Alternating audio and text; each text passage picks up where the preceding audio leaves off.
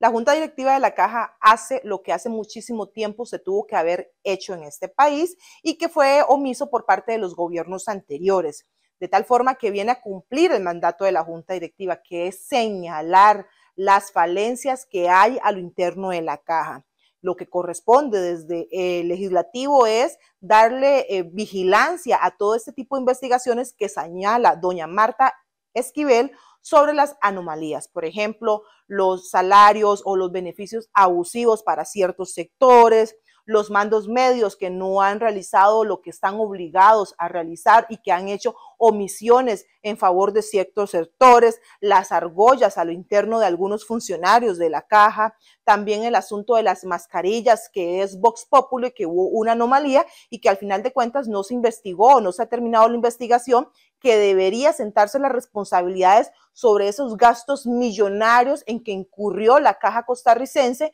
y que no se ha dispuesto quién fue el culpable. Eso es importante que se siga investigando. También sobre el estado financiero que doña Marta Esquivel anunció que es un estado eh, que presenta varias contradicciones. Por un lado tenemos lo que dice eh, la gerencia financiera y por otro lado tenemos lo que dicen las proyecciones actuariales. Eso es importante que se esclarezca. A la luz de todo este tipo de denuncias que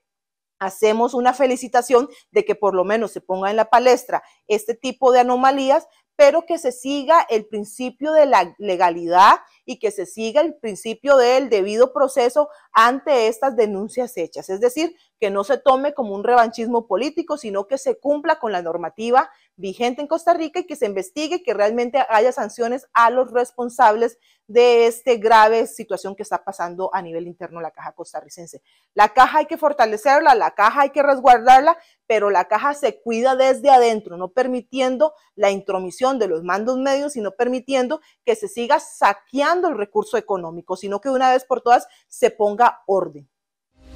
La legislación del país cambia dinámicamente y con ella las empresas deben adaptarse para su cumplimiento de forma constante.